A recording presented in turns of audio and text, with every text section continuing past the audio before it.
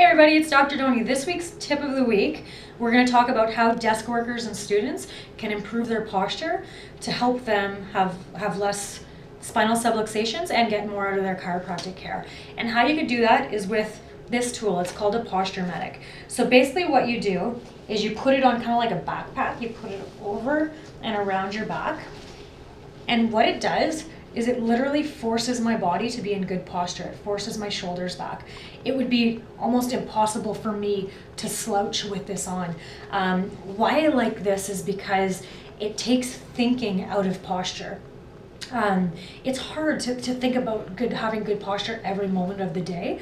So this takes thinking out of it. It just forces you into good posture uh, while you wear it. So I've noticed in uh, my patients, the desk workers and students that do get this posture medic, actually get quicker and better results and they sustain the benefit of their chiropractic adjustment longer. So it really is something that can make a big difference in uh, your overall spinal health and posture.